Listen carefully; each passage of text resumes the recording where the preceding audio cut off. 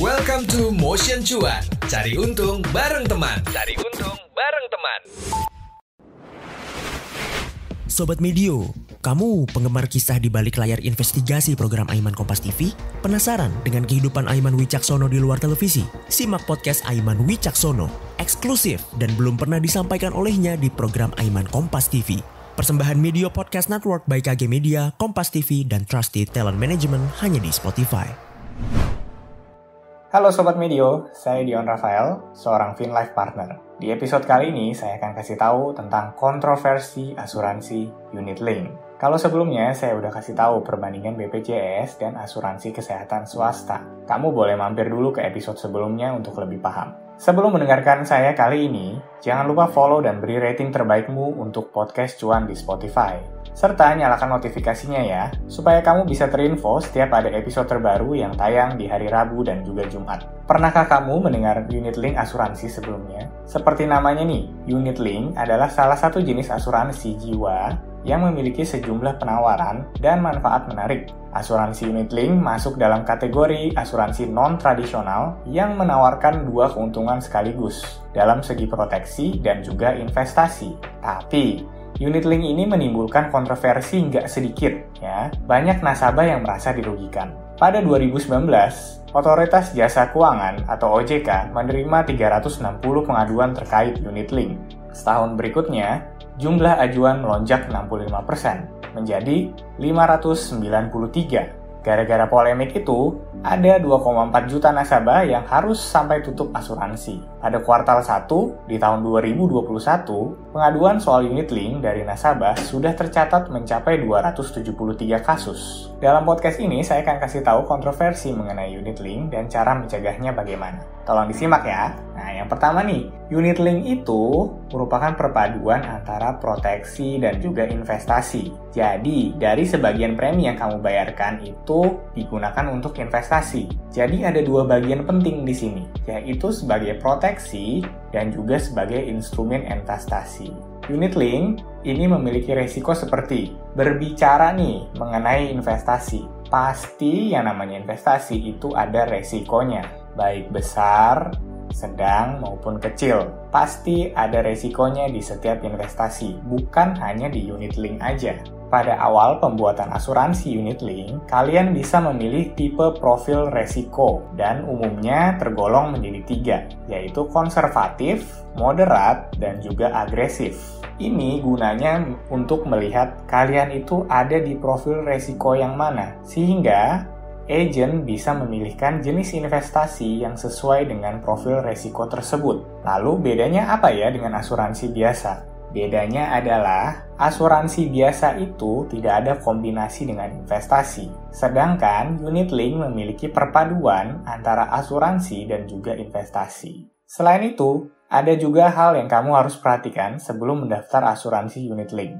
Yang pertama, harus memperhatikan tempat perusahaan asuransi kalian mendaftar. Karena investasi kalian itu akan berhubungan erat dengan perusahaannya. Ya. Pelajari historinya selama ini. Kinerjanya bisa dilihat dari laporan keuangan perusahaan tersebut. Setiap fund pasti memiliki history 5 tahun terakhir. Nah, dari situ kalian bisa melihat naik atau turunnya setiap fund pada laporan keuangan. Pengaduan soal unit link yang saya jelaskan tadi mencapai 273 kasus. Sebenarnya faktornya itu apa aja sih? Nah, pertama harus dilihat dulu. Kalau pengaduannya tentang apa dulu nih? Ya, kalau yang saya lihat selama ini kebanyakan tentang pengembalian investasi yang tidak sesuai. Kalau kasusnya seperti ini, memang pengembalian investasi itu tidak dijamin. Pada awal pembuatan ilustrasi asuransi memang diberikan tabel ilustrasi. Tetapi yang harus kalian ketahui, tabel tersebut adalah ilustrasi yang tidak dijamin. Lalu, apakah alasan utama untuk mengambil produk unit link? Nah, harus tetap fokus pada manfaat yang diberikan ya.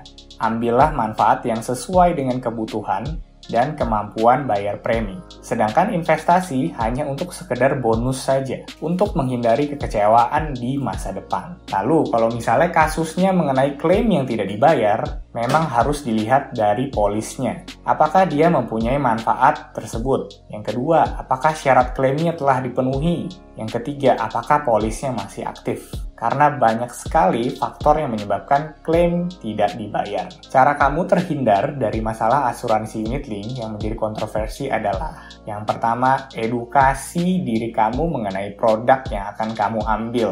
Tanyakan sejelas mungkin mengenai manfaat, mengenai syarat, dan juga ketentuan dari klaim ke agen yang menjual produk tersebut. Sebetulnya banyak pengguna unit link yang mendapat keuntungan. Hanya berita yang disorot lebih ke arah yang negatif saja. Sekali lagi, jangan beli produk yang kamu nggak ngerti. Pelajarin dulu dengan baik. Ya. Kesimpulan saya buat produk unit link ini adalah produk ini dibuat berdasarkan permintaan dari masyarakat. Tentu saja ada syarat dan ketentuan yang harus dipenuhi oleh calon customer yang mau mengambil produk unit link. Dari tahun ke tahun, produk unit link mengalami pengembangan produk yang sangat pesat mulai dari premi yang makin bersaing, manfaat yang luas, dan tingkat fleksibilitas yang tinggi untuk penambahan manfaat. Produk unit link ini merupakan salah satu produk unggulan dari asuransi swasta. Oleh karena itu, produk ini terus berinovasi, dan ini berdampak positif bagi penggunanya. Jadi kalau dilihat dari manfaat, produk unit link ini diciptakan agar ada keseimbangan antara proteksi dan juga investasi. Tentunya, porsi besarnya ada di proteksi, sedangkan porsi bonusnya ada di investasi. Nah, terima kasih buat kamu yang udah mendengar episode cuan kali ini. Jangan lupa untuk follow Instagram dan TikTok at Medio by KG Media. Instagram at Motion975FM dan Instagram saya at Dion underscore Rafael. Kirimkan saran ke email podcast at. Dan dengarkan terus podcast cuan di Spotify untuk mendapatkan inspirasi menarik seputar pengelolaan keuangan, investasi, dan juga aktivitas finansial lainnya. Saya Dion Rafael, FinLife Partner, izin pamit dulu. Tunggu episode selanjutnya ya. Bye! Itu dia Motion Cuan. Cari untung bareng teman di minggu ini. Sampai ketemu di episode minggu depan.